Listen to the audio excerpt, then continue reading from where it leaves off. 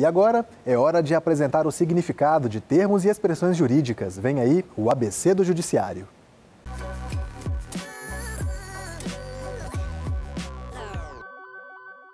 Defensor público é um advogado que foi aprovado em concursos de provas e títulos na Defensoria Pública para prestação de assistência judicial e extrajudicial gratuita a pessoas que não podem pagar pelo serviço. Sua atuação abrange qualquer desrespeito aos direitos do cidadão, sejam individuais ou coletivos.